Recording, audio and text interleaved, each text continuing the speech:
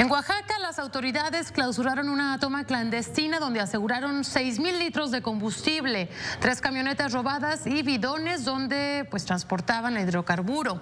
Pese a que no hubo detenidos, se informó que el decomiso pudo haber desarticulado las acciones de una célula criminal que transporta gasolina robada de Oaxaca a Chiapas y Veracruz.